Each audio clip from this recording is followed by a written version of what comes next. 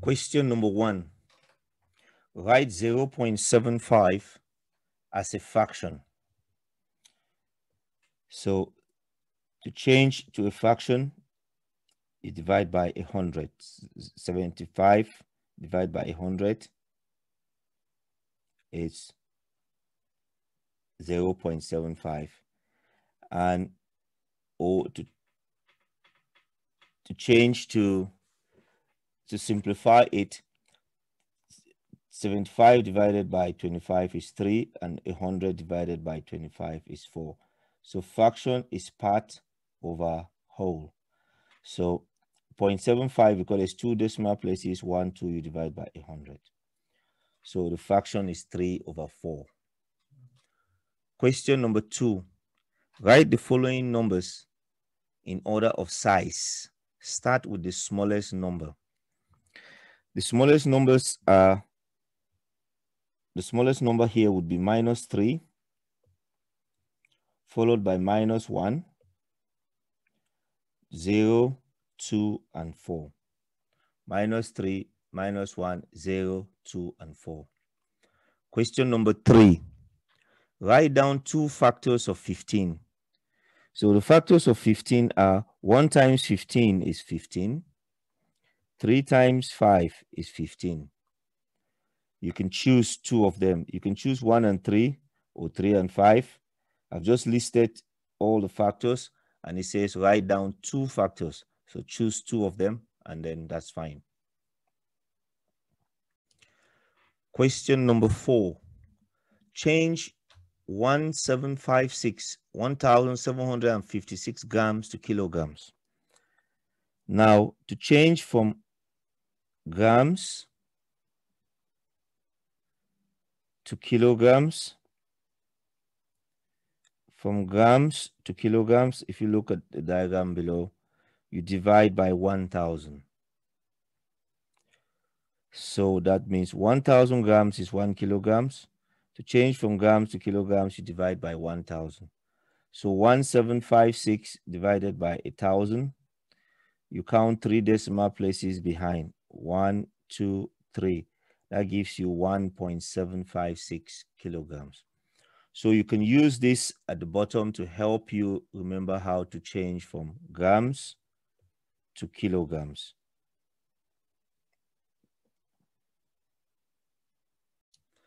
Question number five. Write the number 2 million in figures. Million has got six zeros.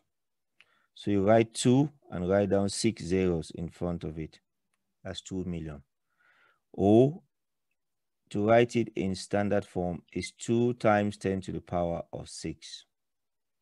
That is still correct. Question number 6.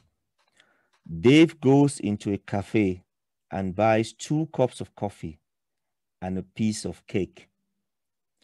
Each cup of coffee costs £2.75. The cake costs £2.90. Dave pays with a 10 pound note. He thinks he will get more than £1.50 in change. Is Dave correct? You must show how you get your answer. So you start by working out the total for the two cups of coffee. The two cups of coffee each one is two pounds 75. So you multiply by two, it gives you five pound 50 for the two cups of coffee. And then you want to add the cost of the cake. The cake is two pounds 90. So you can add the two cups of coffee, two pounds 75 plus two pounds 75 plus the cake, two pounds 90. That gives you eight pound 40 altogether. Now you want to remove that from the 10 pound note because Dave pays with a 10 pound note. So 10 pounds minus 8 pound 40, it gives you 1 pound 60 change. Is Dave correct? Because Dave says he thinks he'll get more than 1 pound 50. The answer is yes, because the change is 1 pound 60 and 1 pound 60 is bigger than or greater than 1 pound 50. Question number seven. There are Y boats on a lake. There are seven people in each boat. Write an expression in terms of Y for the total number of people in the boats. An expression hasn't got an equal to sign. So there are seven people and there are Y boats. So it's seven times Y. You write it as 7Y. Question number eight. Simplify. A times B times 7. All we want to do is to remove the multiplication sign and write it as 7AB. So mathematicians don't like to write that multiplication sign. 7AB means A times B times 7. And we always put the number in front and then put the letters in alphabetical order. That is why we have 7 and then A comes first, B comes next. Part 8b, simplify y times y times y is the same as y to the power 1 times y to the power 1 times y to the power 1. And you add the powers together because the base are all the same, y, y, y. 1 plus 1 plus 1, it gives you 3. So it's y cube. 8c, simplify fully. The top E times E times E times F, E times E times F times F. You can cancel 1, 2E at the top and cancel 2E at the bottom. And you can cancel 1F at the top and cancel 1F at the bottom. And that gives you E over F. So the answer is E over F when you simplify it. Question number nine. The pictogram shows information about the number of vinyl records sold in the shop on Monday and on Tuesday. On Monday and on Tuesday. Part A. Write down the number of vinyl records sold on Monday. If we look at the key, the key is at the top right hand side. The key tells us how many vinyl records is represented by the circle. Eight vinyl records. So there's eight for Monday. There's three of those circles. Eight, eight, eight. Eight times three, it gives you 24. So on Monday, there are 24 vinyl records sold. On Tuesday, there's eight, eight, and there's one quarter of a circle. One quarter of eight is eight divided by four, which is two. So eight plus eight plus two, it gives you 18. So on Tuesday, 18 vinyl records are sold. The next part. On Wednesday and Thursday, a total of 36 vinyl records were sold. The number of records sold on Thursday was eight times the number of records sold on Wednesday. Use this information to complete the pictogram. So we have Wednesday and we have Thursday. It means if we sell one on Wednesday, we sell eight on Thursday. Very important. If you sell one on Wednesday, you sell eight on Thursday. So we add the total. One plus eight, it gives you nine. We want to find how many parts? 36 is the total vinyl records that were sold. So 36 divided by 9, it gives you 4. So we want to multiply 4 times 1, it gives you 4 for Wednesday. And 4 times 8, it gives you 32 for Thursday. So for Wednesday is 4 which we can draw as half of a circle. Because one full circle is 8, so half of it is 4. And for Thursday, 32. 32 divided by 8 is 4.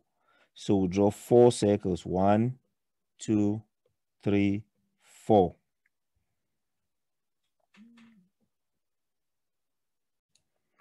Question number 10. Here are three symbols. Less than, greater than, and equals to. Write one of these symbols in each box to make four true statements. So if you look at what I've put at the top right there, equality and inequality, the first sign, that's the equal sign. This sign is not equal, greater than, less than, greater than or equal to, and less than or equals to. You need to try and learn what these signs mean and know their names. Now we look at 14 and 21. 14 is less than 21, so we use the less than sign. 4 plus 7 is 11. 103, take away 92 is 11. So 11 is equal to 11. 2 squared is 4. 2 times 2 is 4. And 2 times 2 is 4 on the other side. So 4 is equals to 4. Because the left is 4 and the right is 4. Minus 3 and minus 5. Minus 3 is bigger than or greater than minus 5. Question number 11. P is equals to 7 times R plus 3 times Q. Work out the value of P when R is 5 and Q is minus 4. This is substitution. We replace the value of R with 5 and replace the value of Q with minus 4. So P becomes equals to 7 times 5 plus 3 times minus 4. Put that in the bracket. So 3 times minus 4 it gives you minus 12. 7 times 5 would gives you 35. And when you subtract 35 minus 12, you would get 23. So 23 is your answer. Question number 12. Here is part of a train timetable. It's going from Brighton to London. The 0722 in the morning gets from Brighton gets to London at 9 o'clock. The 0729 gets to London at 0832. Graham gets to, to the train station in Brighton at 0715 in the morning. As using the 24 hour clock. Work out how many minutes he has to wait until 0722. The difference 0722 minus 0715, it gives you seven minutes. That means Graham has to wait for seven minutes at the train station. Part B, work out how long it would take the 0722 train to get to London. So from 0722 to London, which is 0900, we want to work out the total time. So from 0722, if you look at the yellow line there to 8 o'clock, is add another 38 minutes because 38 plus 22 gives you 60. So adding another 38 minutes, it gets to 8 o'clock. And then from 8 o'clock to 9 o'clock, another 60 minutes. So you want to add the total 38 minutes plus 60 minutes. And that gives you 98 minutes, which you can still write as 1 hour 38 minutes. So 38 minutes gets from 7.22 to 8 o'clock and 60 minutes from 8 o'clock to 9 o'clock. And you add the total and that gives you how long it would take the train to get from Brighton to London. Question number 14. Write the ratio 4.5 is to 2.25 in the form n is to 1 because you want to get one of them to be 1, you want to divide by the smaller number. And the smaller number is 2.25. So 2.25 divided by 2.25 gives you 1. And 4.5 divided by 2.25 gives you 2. So that ratio is 2 is to 1. The 2 represents the n, and the 1 just represents the one in this situation. Two is to one. That's how you do that one. Question number 15. A garden is in the shape of a rectangle, 90 meters by 60 meters. Flowers are grown in 40% of the garden, and the rest of the garden is grass. Work out the area of the garden that is grass. So you want to work out the total area of the rectangle. 90 times 60, length times width, 5,400 meters squared. Now, since flowers are grown in 40% of the garden, we want to find 40% of that 5,400. And that will give you 2,160. And you can use your calculator to get the 40% of 5,400. Now, what is left? You subtract from 5,400. 5,400 minus 2,160 because that's the area which is grass, which is not flowers. And that would give you 3,240 meters squared. So the area of the garden that is grass is 3,240 meters squared. Question number 16 four bias coins, A, B, C, and D, are shown, are thrown. Probability that each coin will land on heads is shown in the table. For coin A, the probability is 0.33. For coin B, 0.033. Coin C, one third. Coin D, 30%. Which coin is least likely to land on heads? The one which least likely is B because B is 3.3%. If you change all of them to 100% by multiplying by 100, 3.3 is the smallest. A part 2. Which coin is most likely to land on heads? Which coin is most likely to land on heads? The coin is C because C is 33.3 recurring. That dot there recurring, 33.3. So C is the answer. Julie says the probability that the coin C will land on heads is the same as the probability that the coin C will land on tails. Is she correct? Give a reason for your answer. No, she is not correct. Probability of head is 1 over 3 and probability of tail is 2 over 3 and these are not the same. Coin B is going to be thrown 4,000 times. Work out an estimate for the number of times coin B will land on heads. So the formula for that you use expectation is the probability times the number. You expect to get when you multiply what you expect to get you multiply the number times the probability. And they're going to throw it 4000 times.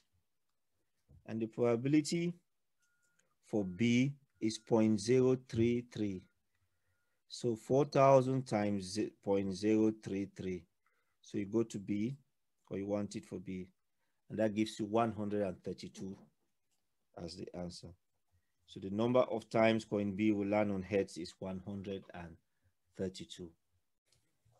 Question number 17.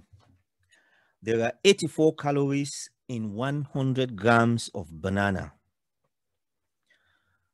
There are 87 calories in 100 grams of yogurt. Pretty has 60 grams of banana and 150 grams of yogurt for breakfast. Work out the total number of calories in this breakfast. So let's start with the banana. 100 grams, you get 84 calories. 60 grams will give you how many calories? We can use cross multiply. 100 times x is equals to 84 times 60. So 84 times 60 divided by 100 would give you 50.4 calories for the banana.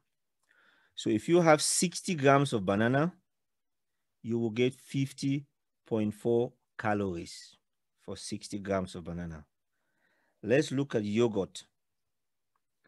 100 grams of yogurt, it gives you 87 calories.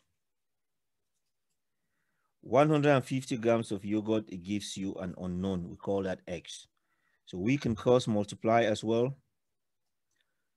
150 grams times 87 calories divided by 100 grams, it gives you 130.5. So for your yogurt, 150 grams will give you 130.5 calories. So you want to find the total number of calories in that breakfast. So you add them up. 50.4 calories from eating the banana, 130.5 calories from eating the yogurt. And you add those two together, you get 180.9 calories in total. Question number 18. Machine, machine A and machine B both make car parts. Machine A makes six parts every 10 minutes. Machine B makes 13 parts every 15 minutes. On Monday, machine A makes parts for 12 hours and machine B makes parts for 10 hours. Work out the total number of parts made by the two machines on Monday. So let's look at machine A. Let's start with A first. Six parts every 10 minutes. So let's see for every hour. 10 minutes. If you multiply by 6, that means 36 parts for every hour. Because if you multiply 10 times 6, it gives you 60. So 36 parts for 60 minutes or every hour. Now, machine A makes parts for 12 hours. If you multiply by 12, hour, one hour times 12, it gives you 12 hours. And then 36 times 12 will give you 432. Let's go to machine B. Machine B is 13 parts every 15 minutes. So for one hour, you times 15 by 4. 15 times 4 gives you 60 minutes, which is one hour. And then you times 13 by 4, it gives you 52. So for one hour, there will be 52 for machine, 52 parts for machine B. Now, we times by 10 because it's going to do it for 10 hours. So 52 times 10 hours, gives you 520. So 52 times 10 will give you 520. So you want to find the total number of parts. So the total, you add them. For machine A is 432. For machine B is 520. When you add them, it gives you a total of 952. So to quickly summarize, you want to work out how many parts are made every hour for machine A and then times it by 12 for 12 hours. For machine B, you want to find how many parts are made every hour and then you times it by 10 to get it for 10 hours. And then you add them together, it gives you the total. Question number 19. Here is a plan of a kitchen drawn to a scale of 1 is to 30.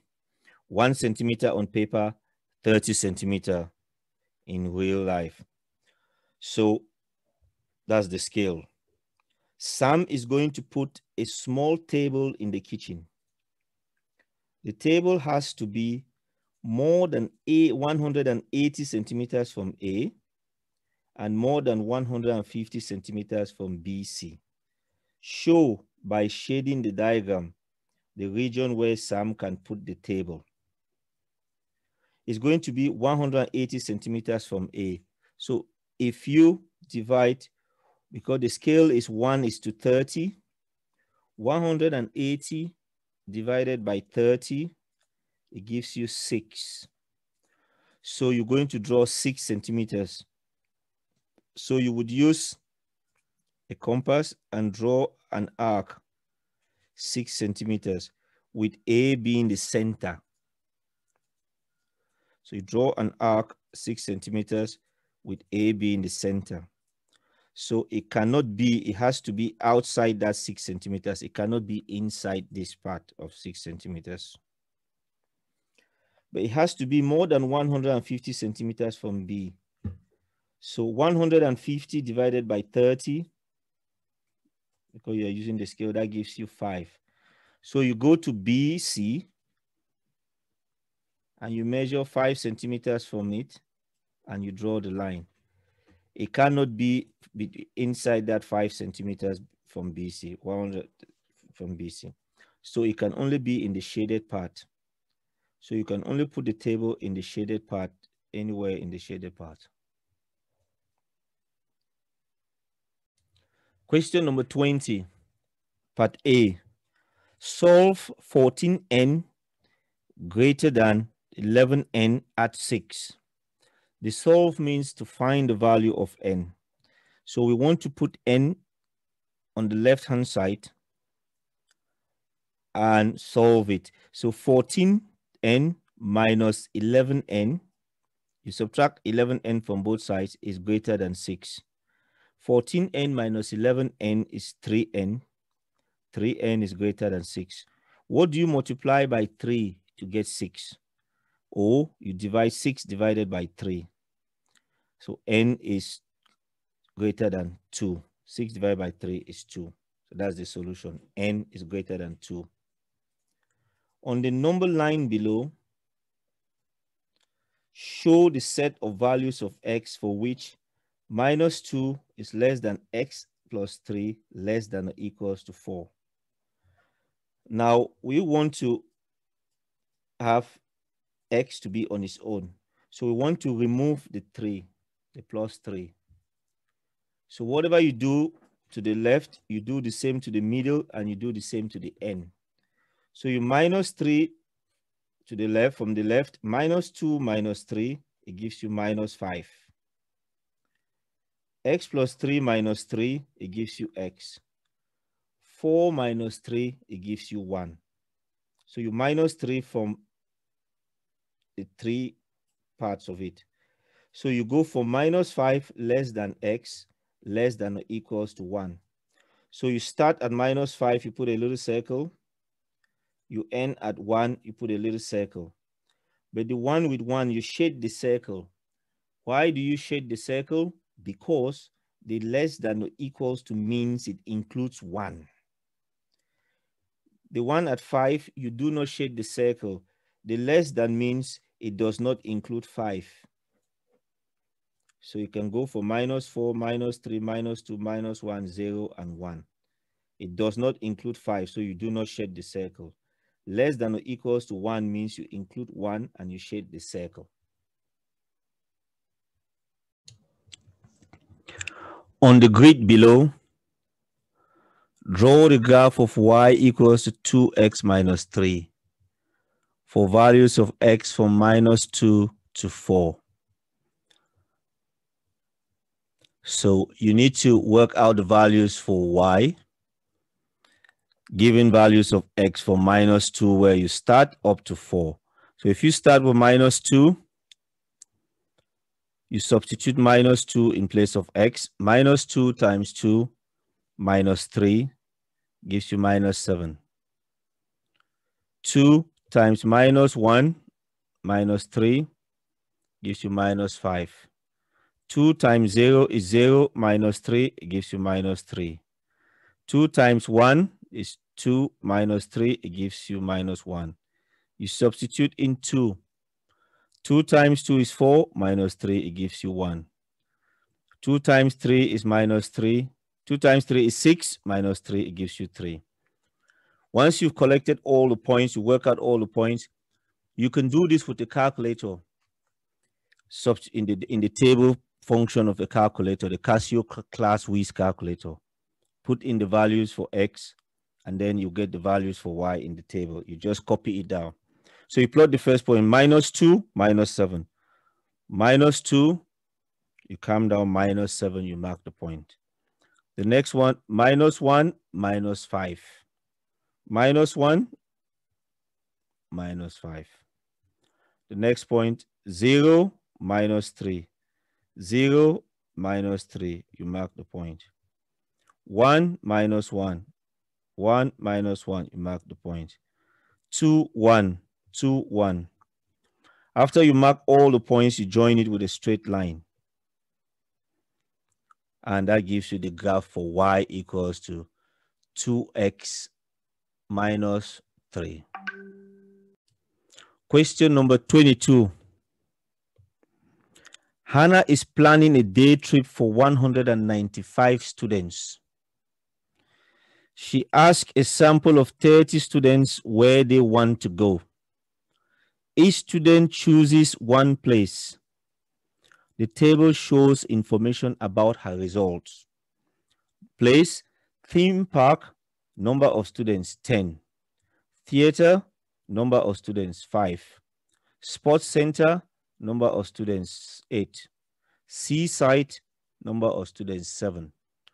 Work out how many of the 195 students you think will want to go to the theme park. So because they've used a sample of 30 students, so 10 of them wants to go to the theme park. So it's 10 over 30 is one third. So for every 10 students, every 30 students, 10 wants to go to the theme park. So one third wants to go to the theme park. So we can find one third of 195. 1 over 3 times 195, that gives us 65. Part 2, state any assumption you made and it's highlighted, explain how this can affect your answer. Because your answer can be more or less, depending on the assumptions you're making. One of the assumptions is sample represents all 195 students. So this sample of 30, it is representing all the 195 students. The sample is a random sample. That's another assumption. You choose them randomly. There is no bias. There is no bias. The 30 students are from the 195, not from somewhere else. The 30 students are from that 195. And make sure that 10 out of every 30 wants to go to the theme park. So those are the assumptions that you make so that you can carry out that calculation to work out how many of the 195 students you think will want to go to the theme park. Question number 23. A container is in the shape of a cuboid. The container is two thirds full of water. A cup holds 275 milliliters of water. What is the greatest number of cups that can be completely filled with water from the container? So the greatest number of cups that can be completely filled with water from the container. So we work out the volume of the container. The volume is length times width times height. 30 times 19 times 6 gives us 3,420 cubic centimeters. And that's the volume of the cuboid. But it says it's two thirds full of water. So we want to find two thirds of that volume. So 2 over 3 times 3,420. Put that in your calculator. You get 2,280. That is two thirds of it. Now, it is these two thirds that we are going to pour into those cups to see how many of those cups it can fill. That two thirds is 2,280. Pouring it 275 milliliters a time, it would fill into 8.29. But we cannot use 0.29 of cup because we want the greatest number of cups that can be completely filled. It must be completely filled, not half filled or 0.29 filled. So we can fill only eight cups completely. Number 24. ABC is a right angle triangle. Calculate the length of AB. Give your answer correct to two decimal places. So we can use trigonometry. Sine of 38 is equal to x over 16. And we can rearrange it to get the value for x. That would be you multiply by 16, 16 times sine 38. It gives you 9.850583606. But to two decimal places, you put a line after the second decimal place and the number after it is zero, which is smaller than five. So it's just 9.85. So we are using trigonometry here. SOHCAHTOA is the way to remember the formula and we're using the SOH. Sine is opposite over hypotenuse. Sine of 38 is opposite. You're looking that way, that's the opposite. And divided by the hypotenuse, which is h. So x over 16. Mm-hmm. And you rearrange it to find the value for x. Question number 25. Sally used her calculator to work out the value of a number y. The answer on her calculator display began 8.3. Complete the error interval for y. So 8.3, if you have 8.25, you can round it to 8.3. If you have, it has to be less than or equals to y, because you can round it to 8.3. And if you have 8.35, which has to be less than, so it's 8.34999 or 44, you can round it to 8.3.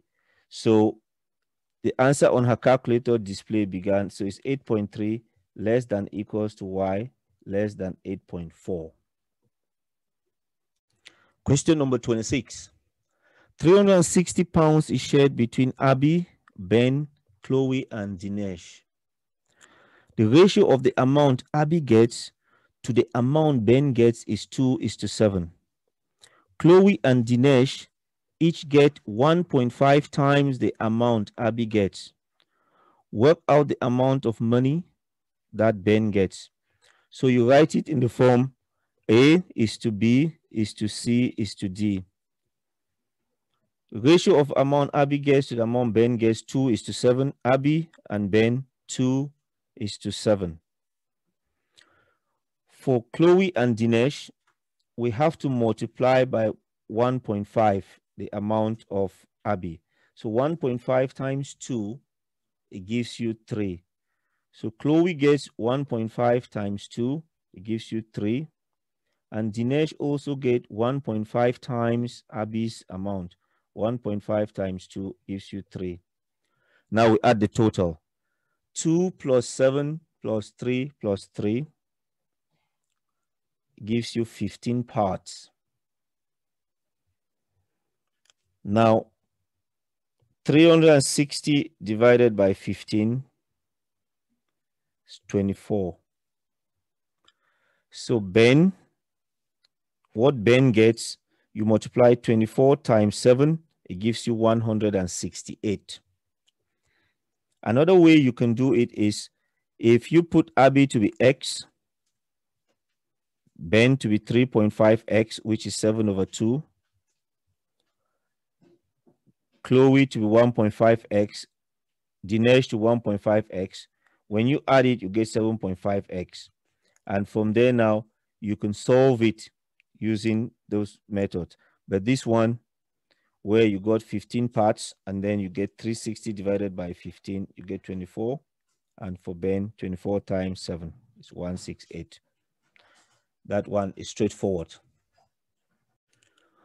Question number 27. Write 0 0.00562 in standard form. The decimal point goes after the first number. 1, 2, 3. So 5.62 times 10 to the minus 3. So the decimal point is after the first number. Write 1.452 times 10 to the 3 as an ordinary number. So you start from the decimal point, you move it three places to the right. One, two, three. So you get 1452. So you start from the decimal point, you move it three places to the right. One, two, three. You get 1452. Question number 28. Here are the first five terms of a Fibonacci sequence. 3, 3, 6, 9, 15. Write down the next two terms of the sequence. So you add 3 plus 3, it gives 6. 3 plus 6, you get 9. 6 plus 9, you get 15. And 9 plus 15, you get 24. And then you add the next one, 9 plus 15, you get 24. And when you add the next one, you get 29. So the numbers go, the next two numbers are 24 and 39. Next part, the first three terms of a different Fibonacci sequence are A, A, 2A. Find the seed term of this sequence. So A, A, first two, you add them, you take the next two, A and 2A, you add it, it gives you 3A. You take the next two, 3A and 2A and 3A, it gives 5A. And the next two, you add them, 3A and 5A, you get 8A. So find the seed term of the sequence. The sixth term of the sequence is 8A. Question number 29. A is 4, 5 as a column vector, B, 3, 2. Work out A minus 2B as a column vector. So A is 4, 5 minus 2 times B is 3, 2. 2 times 3 is 6. 2 times 2 is 4. So you have 4, 5 minus 6, 4. So you subtract the top 4, take away 6 is minus 2. And 5 take away 4 is 1. So as a column vector, it's minus 2, 1. So we had to multiply first 2 times b, 2 times 3, 6, 2 times 2 is minus 4. Had to multiply and then you subtract afterwards.